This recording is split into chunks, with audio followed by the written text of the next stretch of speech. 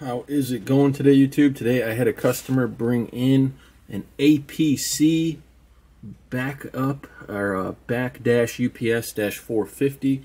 They needed the battery replaced on it, so I just thought I would shoot a quick video demonstrating on how to change the battery on this particular unit. Again, we got a back dash UPS dash 450. I'm not sure if you guys can see that there. But we are going to remove the battery, which is a standard 12 volt 5 amp hour battery. And it is relatively simple. So more or less, we're going to flip over the unit.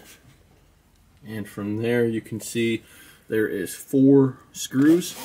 One, two, three, four. I've already taken those out just for the video.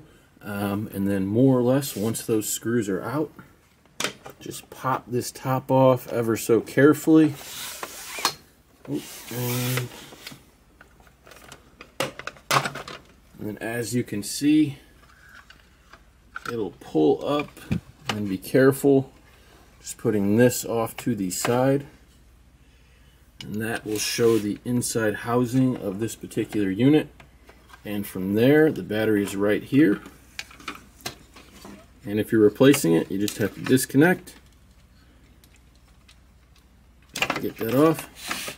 And you can see all you would have to do is reconnect the new battery, slide it in as so, and your unit should be good to go. And keep in mind, whenever you're using a PowerStar battery in any type of UPS or uninterrupted power supply, uh, they come with a three-year full replacement warranty. So PowerStar is an excellent brand to use to replace your UPS devices and applications just due to the fact, regardless of the battery size, if it's being used in a UPS device,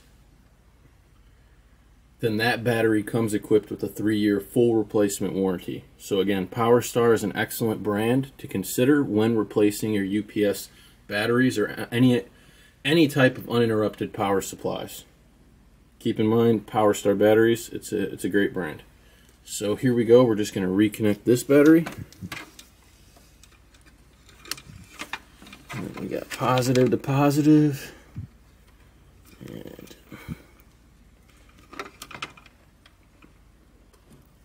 negative to negative. negative. And we're just going to slide this battery back into its design position.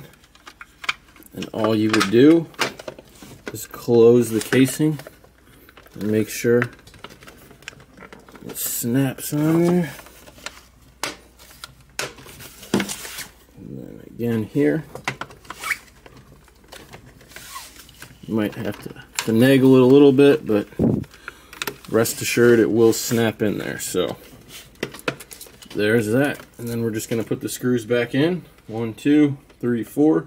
And this unit should be good to go.